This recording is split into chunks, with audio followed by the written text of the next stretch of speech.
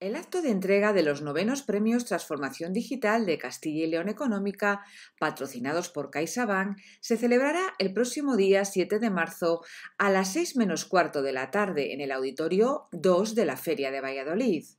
El pasado jueves tuvo lugar la reunión del jurado de los galardones, a los que se presentaron 51 candidaturas, con lo que en sus nueve ediciones se han remitido un total de 504 proyectos. El jurado estuvo constituido por Antonio Ibáñez, director general de Telecomunicaciones y Administración Digital de la Consejería de Movilidad y Transformación Digital, Agustín Cigüenza, director general de Formación Profesional y Régimen Especial de la Consejería de Educación, Alberto Navarro, director de Instituciones de CaixaBank en Castilla y León, Tomás Castro, presidente del Clúster de Ciberseguridad y Tecnologías Avanzadas, Julio César Miguel, presidente de AETICAL, Manuel Barrio, director de la Escuela de Ingeniería Informática de la Universidad de Valladolid, Marian Hidalgo, secretaria general y directora de comunicación del Consejo de Cámaras de Comercio de Castilla y León, Eduardo Estevez, director de Empresa Familiar de Castilla y León, Luisa Alcalde, socia fundadora de Castilla y León Económica,